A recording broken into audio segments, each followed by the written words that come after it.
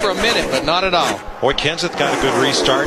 He's all the way up to 12th after having to restart in the back, but a long way to go. Boy, Kurt Busch in that two got such a run through the middle of three and four. He's going to take second spot away from Burton. Here comes his brother Kyle to the inside. And almost wrecked him. Ah, I told Uh-oh. you. There he goes. I Oh, told he you. did. I told you. Oh my gosh. Checkers are wreckers. That boy's got a lot of talent. This will make you do right here. Got that nose in there. Now they're hooked together. Little wobble, little wobble, and he's out of control. And boy, he just barely got the back of the two cars. He went went into the corner. Boy, Burton in the 31 just makes it by.